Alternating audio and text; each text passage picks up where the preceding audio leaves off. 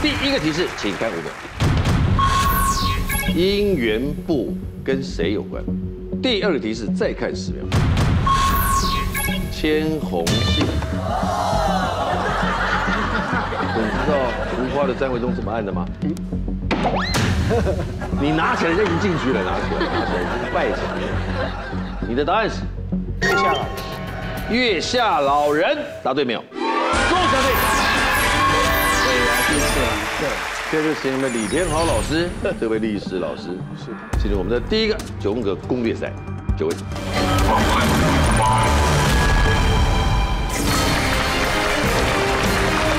李天豪同学，成功大学历史系毕业，是的，喜欢历史是从小国中就开始喜欢历史，就是有兴趣，就是有兴趣。所以后来很自然的就找当老师啊，因为喜欢说故事。哦，第一个呢，除了争取到五分钟的答题时间之外呢，呃，依此递减啊，所以第三个再出来就剩三分。三分钟。呃，也因为他，我们来看一下我们的梦幻大奖，各位要兵家必争的，其实在那个门后面，请开门。所有的一万、三万、五万、十万的智慧家电不一而足，而且一个比一个精彩啊！争取的最后大奖当然就是那个相当于四 K 画质的几万首的最高规格的点播系统。来喽，量身打造的题型，光显示出来那一刹那，你就会知道你跟这个节目有多深厚的感受。请出示，来公布李天豪老师这位历史补教名师的题目：知名梗图。网络的所有的流行梗的那些图，你都是很喜欢的，哎，对，对吧？哦，东方美人茶你爱喝，皇帝舞讲的是你最擅长的历史问题嘛？啊，擅长的历史。床边故事你即将要开始说给你的孩子听的，脱光光成语当然是你的中文国文能力。猫挑食有养猫？有，以前有。怀孕饮食当然就是现在你跟老婆的互动，哎，家事大考验，那就真的是考验你，因为你不做家事，对不对？帝王谁在做家事？我不表示意见，我都是让他了。哦，对对，让他吩咐我们，让哦让他吩咐。对，我们不是怕老婆，是尊重，对，是吧？我老婆不在的时候，家事都没人做，因为没人叫我做，我就没有动力。他一回来，三十分钟就做的好好的。先选择第一集，先选最熟悉的皇帝舞好了。皇帝舞准备五分钟倒数，请出题。在哪一个朝代大臣在和皇帝上朝参拜的时候，竟然要以跳舞的形式来表现？A. 魏晋南北朝，B. 唐朝，C. 宋朝。我的答案是唐朝，请锁定。这个不会笑出来吗？这个启禀皇上。我认为这个事情不是这一类的，你不会笑出来吗？不是，不是那样子的了。哦，不是这样子。其实唐朝有国歌，知道吗？唐朝有国歌，嗯，不是三民主义，那就《秦王入阵曲》啊。怎么唱？你会唱吗？哎，不是五月天不是有演过吗？就是他不是有编过那个《秦王入阵曲》，现在就入阵曲啊。哦。唐朝的时候很流行这种乐舞。哦。而且他们还是自带 BGM 的。每个人有自己专属的那个《秦王入阵曲》，就是李世民的 BGM，真假的？真的。一开始本来是小型的舞蹈啊，但后来就演变成广场舞了。对对，广场舞，广场舞一起跳。而且因为周边的国家都来唐朝拜访，所以日本跟印度今天都还有人会跳。日本的能乐啊，不是有那种嗯能剧能剧哎能剧那个那里面就有《秦王入阵曲》的那个梗，而且戴面具就是嗯以前不是有个兰陵王吗？有。其实《秦王入阵曲》是从兰陵王入阵曲开始，他是第一个自带 BGM 上战场的人。你要不要换个洋装在那里？你解释的比他还清楚，要死了。唐朝他答对了吗？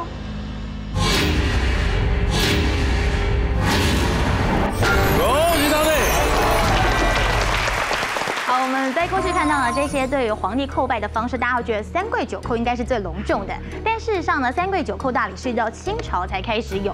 那在中古时期呢，最隆重的方式是再拜稽首。不过在唐朝的时候啊，在跪拜的当中还要加入跳舞的方式。而且这个跳舞呢，除了伸胳膊蹬腿之外呢，你还要高呼万岁，要说万岁万岁万万岁，表现越激动才看得出来你对皇帝的忠心。而且呢，这些只是在这个汉这些汉民的这些大臣里头对皇帝表达忠心的方式。如果是其他呃周边的游牧民族要来向天可汗来进贡的时候呢，哎，他们还有另外一种捧足绣靴的这种叩拜之礼。他们会跪着跳完舞之后呢，再到这个皇帝的旁边捧着皇帝的靴子，然后用鼻子去闻他靴子的这个地方哦，就表示我对你呢是非常的崇敬的。所以这看得出来，在唐朝跪拜的方式。跟现在是非常不一样。戏剧情节为什么没有看过？可能很难演。不过你可以想象一下，杨贵妃故事里面不是有个安禄山吗？嗯。不管是什么版本的杨贵妃，安禄山都是会跳舞的。对，就梗，他的梗就在这里。哎呦，安禄山不是只会伸爪子吗？不是哦，他是那种大胖子，还很灵活，这才厉害。哦。第二题，床边故事好了。进行床边故事之前，我可不可以请问一下？请说。安禄山跟董卓谁比较胖？如果是合理的，这你真知道？我真的知道，我怎么不知道？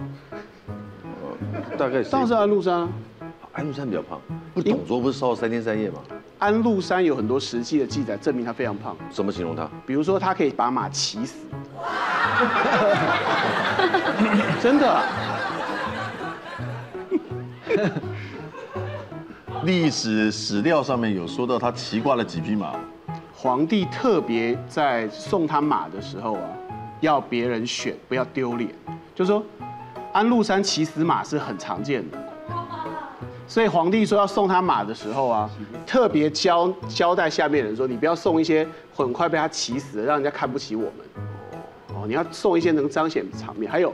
皇帝帮阿禄山定制的那个豪宅别墅，都特别交代要把桌子、椅子、碗筷都放大，就是巨人版。你可以想象一下相扑选手的那种感觉。OK OK，这些有真的记载，那董卓就没有明确的记载。所以如果你问的话，那当然是安禄山比较胖。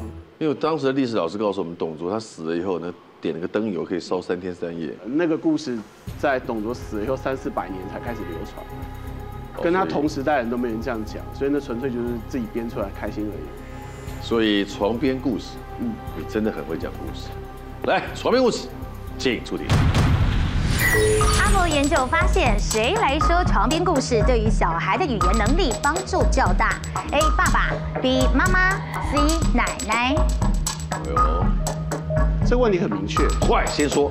爸爸，请锁定。为什么不是妈妈？因为我是爸爸。我还能选什么呢？所以你讲爸爸是猜的。对啊。认为是爸爸的举手。哎呦，一个、两个。对。三个。为什么？我同意，因为我也是爸爸。不要学他。为什么是爸爸？我是妈妈，因为是爸爸，因为妈妈讲的都是一些柴米油盐呐，没有什么了不起的故事嘛，所以爸爸。应该是对小孩的启发性比较大。好，这是爸爸。那妈妈认为是妈妈的举手，一个。为什么是妈妈？因为我跟我先生都会讲故事给我们的小孩听，然后我就有发现，我先生讲故事，他就是平铺直述的念念稿子、念字而已。对，那我们就会把他说，哇，今天有一个小红帽，然后遇到一个什么大呃大野狼，怎么样？那我觉得可能这样子，妈妈应该好像都是这样子。情绪丰富一点。那是你，那你先生比较不会讲，像我讲的时候就会配马来了。一阵风，砰！那个配音配的比故事内容还真实。所以是个案。你身上检讨有声书，厉害。小心有猪。谁让你提早出院的？忘了吃药，忘了吃，忘了吃药。其实不完全是猜的，因为男生讲故事跟女生讲故事真的不一样。不，当然不一样。男生讲故事比较有逻辑，女生讲故事会着重情境跟感觉。那语言系统，我觉得啦，你要让别人学会讲话的时候，他比较容易学习模仿你的感觉。哦，对他说话逻辑有帮助。对，逻辑有帮助，这是我猜的。但是这样子情况，大家当然猜爸爸，何况我是。我也投这一票，你说的蛮有道理。我觉得我的孩子现在说话说得很清楚，应该跟我听我讲故事有关。哎，有意思哦，谢谢记者。恭喜答对，漂亮！这位爸爸，感谢。那我们有没有加分呢？呃，你们可以得到我们的肯定。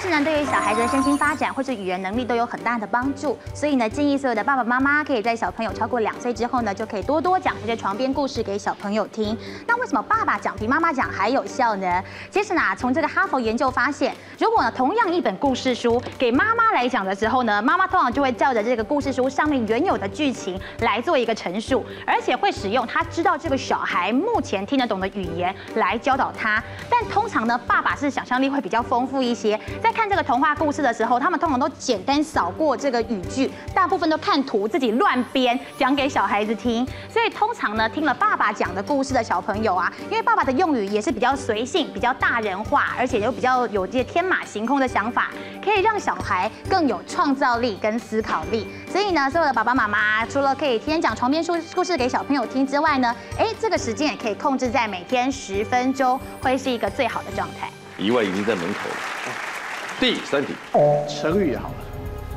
成语，请出题，四分三十秒倒数。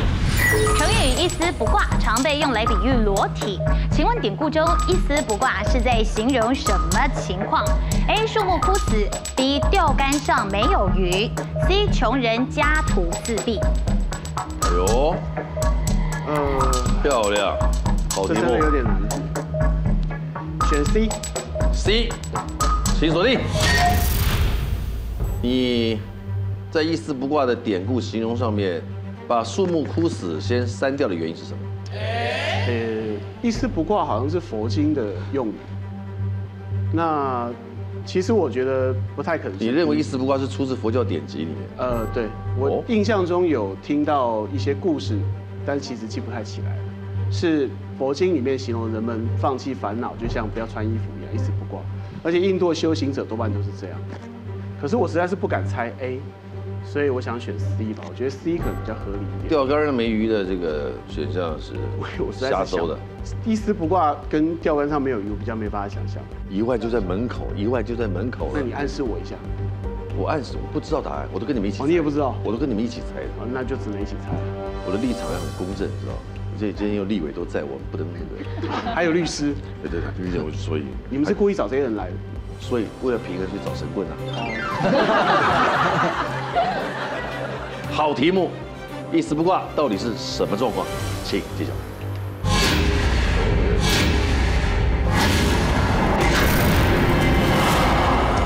哇！你真是你真是求人得人呐！对啊。啊？他是什么意思？来告诉我们正确答案。正确答案就是钓竿上没有鱼。事实上，一丝不挂这一句用语呢，它是禅宗用语，出自《楞严经》。那它的原句呢是一丝不挂，竿木随身。虽然是一个钓客，他拿着钓竿，但是这个钓竿上面呢却没有鱼丝，没有办法去钓鱼。鱼不会受到了这个钓竿的制约，那么人呢也没有这样的想法，想要去钓鱼，代表你已经心无挂碍。一丝不挂，其实一开始说的是你的心里面已经没有任何。的这个呃尘埃跟想法，后来才衍生成现在的意思。站得很累，可以回去坐。因为它下面意思。你要不要我帮你叫车？要不要回家坐？还能躺？来，第二回合，资格赛就位。